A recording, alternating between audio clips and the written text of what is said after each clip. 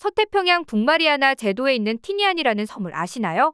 괌에서 북쪽 160km, 사이판과는 불과 5km 너비의 해협을 사이에 두고 있는 이 섬은 북마리아나 제도의 여러 섬들 중에서도 이름이 잘 알려지지 않은 생소한 섬인데요. 그럼에도 거의 훼손되지 않은 자연 풍광이 멋지기로 유명해 아름아름 전 세계 여행자들이 이곳을 방문하고 있죠. 그런데 신기하게도 전 세계 여행자들을 반기는 이곳에서 일본 여행객만 유일하게 사람 취급을 받지 못한다고 하는데요. 일본인들은 이곳에서 식사를 해도 식당이나 건물 야외에 있는 의자 같은 곳에서 절대로 못 먹고 반드시 음식을 외딴 곳으로 가지고 나가서 먹는 등 차별을 겪어야 한다고 합니다. 반면 한국인 여행자는 건물 안에서 극진한 대접을 받으면서 가는 곳마다 환영을 독차지한다고 하는데요. 이에 차별 아니냐며 반발하던 일본인들을 일순간에 입닫게 만든 역사적 사실이 재조명되며 역으로 일본의 엄청난 비난에 화살이 쏟아지는 중입니다. 대체 이 섬엔 어떤 이야기가 숨어 있는 걸까요? 자세한 내용 함께 알아보도록 하겠습니다. 북마리아나 제도의 남쪽 끝에 위치한 섬으로 괌에서 경비행기로 20분이면 닿는 곳, 티니안 섬. 그런데 놀랍게도 이곳에 사는 약 45% 이상의 주민들에게 한국인의 피가 흐르고 있다면 믿어지시나요? 실제로 티니안 섬을 방문하면 묘한 기시감을 느낄 수 있는데요. 아무리 봐도 서태평양 사람이 아니라 우리나라에서 자주 볼 수 있는 한국인의 얼굴이 언뜻언뜻 보이기 때문입니다. 이 이야기의 시작은 제2차 세계대전 시기로 거슬러 올라가는데요. 당시 일본은 자신들의 통치 구역이자 전략 요충지였던 이곳에 대형 비행장을 만들기 위해 5천여 명의 조선인들을 끌고 왔습니다. 이때 강제징용된 조선인들 대부분은 조선 총독부의 주관하에 큰돈을 벌 수 있다는 감언이설에 쏘가 건너온 사람들이었는데요. 그리고 알려진 바에 따르면 일본의 은폐로 묻힐 뻔했던 한국인들이 이 섬에서 겪은 수모는 상상 그 이상이었습니다. 2016년 일제에 끌려가 사탕수수 밭에서 일하던 위안부 여성들로 추정되는 사진이 발굴되면서 착취당한 정황이 만천하에 드러난 건데요. 알려진 바에 따르면 당시 조선인들은 거의 먹지도 자지도 못하며 맨손으로 일본군이 이용하는 비행장을 건설하는 등 그 현장이 참혹하기 그지없었다고 합니다. 심지어 일을 시키며 식수조차 제공하지 않아 남의 소변을 훔쳐 마실 정도였다고 전해지고 있죠. 그러나 역설적이게도 끌려간 우리 국민들이 피땀으로 건설한 비행장은 1945년 8월 태평양 전쟁을 종식시키는데 결정적인 역할을 했는데요. 당시 티니안 섬의 전략적 가치에 주목한 건 일본뿐만이 아니었습니다.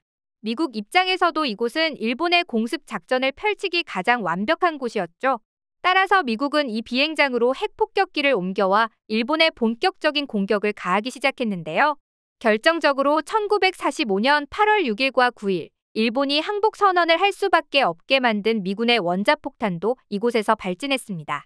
리틀 보이와 팻맨의 출격이 모두 이곳 티니안 섬에서 이뤄진 것이죠. 결과적으로 일본의 패망은 예견된 수순이자 인과응보와도 같은 것이었는데요. 그런데 일본인들은 갈 때도 그냥 곱게 가지 않았습니다. 티니안 섬의 맨 끝쪽 카라나스 고지 동쪽에는 살 절벽이라는 곳이 있는데요. 이곳에는 미군에 쫓겨 퇴각한 일본군들이 머물렀던 최고 사령부가 있었습니다.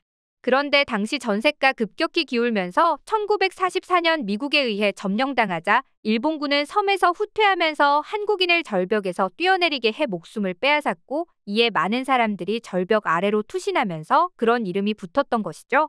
심지어 당시 후퇴하던 일본인들에게 잔혹하게 죽임을 당한 한인들도 많았으며 일본은 이후 관련 서류들을 모조리 태워 존재 자체를 은폐하기에 이르렀다고 합니다. 한편 그때 가까스로 살아남은 한인들은 전쟁이 끝나고 나서 고국으로 돌아갈 기회를 얻게 됩니다. 미군이 티니안 섬의 조선인들에게 선택권을 준 것인데요. 따라서 조선인들은 고국으로 돌아가느냐, 섬에 남느냐 결정할 수 있었습니다. 이때 대부분의 조선인들이 고국으로 돌아가는 선택을 했지만 원주민인 참호로인과 가정을 꾸린 일부는 티니안 섬에 남기로 하는데요.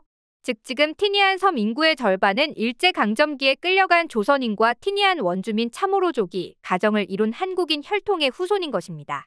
지금 티니안 섬에 한국계 성씨인 김씨, 친씨 등이 있는 것도 성씨가 없던 참호로족들이 한국인과 결혼하면서 한국 성씨를 사용했기 때문이죠.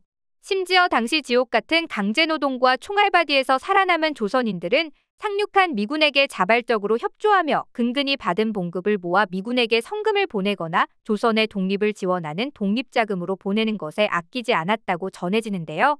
이러한 기록들은 일본의 은폐로 알려지지 않았으나 미군이 찾아낸 조선인 희생자 안매장 터에 한국인 위령탑이 세워지며 매년 이들을 추모하는 티니안 섬의 후손들이 이 아픈 역사를 잊지 않고 기억하면서 점차 세상에 알려졌습니다. 한편 이 위령탑엔 태극기, 북마리아나 제도, 연방깃발 그리고 성조기가 걸려 있는데 티니안 섬은 워낙에 바람이 강해 이 깃발이 쉽게 해진다고 하는데요. 이 헌깃발을 갈아주기 위해 한인회가 매년 수백 개의 태극기를 사서 티니안 섬에 실어온다고 하죠. 심지어 티니안 섬에 남은 한인의 후손들은 한국어를 조금 할 줄 알고 한국 방문도 하고 있다는데요. 지금 이 순간에도 자신들이 한국인의 후예임을 자각하고 역사 인식도 가지려고 애쓰고 있다고 합니다. 일제강점기 시절 한민족에게 서린 아픔과 슬픔을 티니안 섬에 남은 한인의 후손들은 오늘날까지도 잊지 않고 있는 것인데요. 그래서일까요? 이 섬에는 세계 여러 나라 사람들이 여행을 오는데 유독 일본 여행객만은 이 섬에서 사람 취급을 받지 못한다고 합니다. 지금 티니안을 찾는 일본인 관광객은 원주민 식당 홀에는 아예 들어가지 못하고 입구에서부터 출입 금지를 당한다고 하죠. 대신 식사를 하려면 음식을 들고 외딴 곳으로 나가서 먹어야 한다고 하는데요. 티니안 섬의 원주민들로선 일제강점기라는 씻을 수 없는 치욕을 안긴 일본에 대한 증오의 표시라고 볼 수 있습니다. 반면에 한국의 여행자는 건물 안에서 극진한 대접을 받으면서 식사를 하거나 가는 곳마다 환영을 독차지한다고 하는데요. 그럼에도 한국인들은 맘 편히 즐기기보단 아픈 역사를 새기며 이 섬을 둘러볼 수밖에 없다고 합니다. 실제로 티니안 섬이 점차 알려지면서 이곳을 방문하는 한국인들도 늘고 있는데요. 가는 방법으로는 사이판 국제공항에서 출발하는 경비행기를 타고 티니안 국제공항을 통해 들어갈 수 있습니다. 이 경비행기는 티니안 섬으로 왕복 운항하며 비행시간은 10분 남짓으로 매우 짧다고 하죠. 그리고 이곳에 방문한 한인들은 섬의 산책길에 나 있는 태평양 전쟁의 역사를 훑어보는 시간을 갖는데요. 실제로 현재까지도 티니안 북쪽엔 원자폭탄 리틀 보이와 팻맨을 보관하던 장소가 터로 남아 있습니다. 이 터는 사다리꼴 모양의 투명한 돔으로 덮여 있는데요.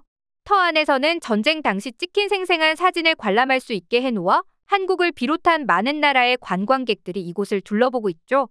단순히 역사적인 아픔을 기억하고자 이 섬에 찾아가는 것만이 아닙니다. 티니안에는 섬 전체의 관광 명소가 산재해 있고 세계에서도 손꼽히는 아름다움을 자랑하는 바다가 있는데요. 특히 이 바다는 투명도가 80m로 사이판의 만화가 섬에 필적할 정도의 높은 수질로 인해 다이빙과 스노클링에 적합하다고 알려져 있습니다. 오죽하면 이곳에 방문한 국내 한 베테랑 여행 기자는 여기가 그 유명한 몰디브 바다보다 물빛이 아름답다며 전 세계를 여행했어도 내 평생 이렇게 아름다운 해변은 처음 본다며 감탄의 말을 남기기도 했죠. 또한 해변에는 사람이 별로 없기 때문에 조용하고 전용 해변처럼 사용할 수 있어 프라이빗한 시간을 갖기에도 최적이라는데요. 해외여행이 점차 많아지고 있는 요즘 다른 아름다운 관광지도 좋지만 이런 곳이 더 알려졌으면 하는 생각이 듭니다. 일본이 아무리 은폐하고 왜곡한다고 해도 우리가 관심을 기울일수록 역사의 진실은 반드시 드러나기 마련이니까요. 부디 이런 관광지가 더 널리 알려져서 우리의 슬픈 역사를 똑똑히 기억하여 다시는 이 비극이 되풀이되지 않길 바라며 오늘 영상 마치겠습니다.